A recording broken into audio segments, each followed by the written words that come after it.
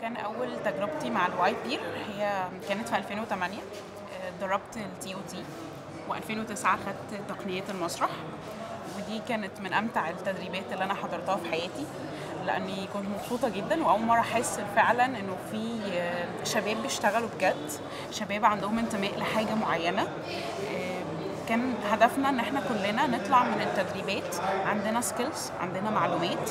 ودي كانت بالنسبة لي حاجة كبيرة جدا إن أنا أطلع من مكان معايا مهارة معينة أطلع أقدر أطبقها في الجمعية بتاعتي أو مع الشباب اللي أنا أعرفهم. ف يعني دي أكتر الحاجات اللي كانت مهمة قوي بالنسبة لي في الفترة دي. بعد ما رجعت جامعتي الموضوع اختلف تماما. ابتديت انزل مشروع مثلا اللي أنا شغاله فيه احس انه أنا محتاجه اضيف كل حاجة خدتها في التدريب وادخلها جوه آه، المجتمع بتاعي سواء بقى اصحابي سواء ال- الاماكن اللي أنا بنفذ فيها المشروع بتاعي سواء النادي كل حتة كنت بنزل فيها كنت بتكلم عن المشروع كنت بت... يبقى عندي.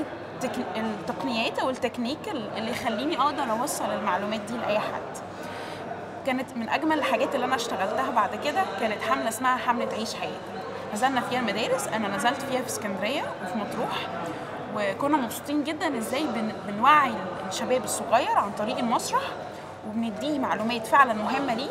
كانت بتتكلم عن مثلا حب الشباب التغذية السليمة زواج الأطفال الصحة الإنجابية الإيدز التدخين الإدمان. دي كلها كانت موضوعات مهمة بالنسبة للشباب في الوقت ده وكانت انترستد جدا ليهم. وكانوا هم مبسوطين حتى إن هم بيسمعوا معلومات لأول مرة مفيدة ليهم حتى على مستوى حياتهم الشخصية. حتى أنا دلوقتي أنا دلوقتي بعد ست سنين في ال في ال NGO أو في ال في ال network آه، كنت مبسوطة جدا إن أنا لسه منتميه لهذا الكيان. ال network فعلا أضافت لي كتير جدا على على مستوى حياتي الشخصية وعلى مستوى حياتي العملية.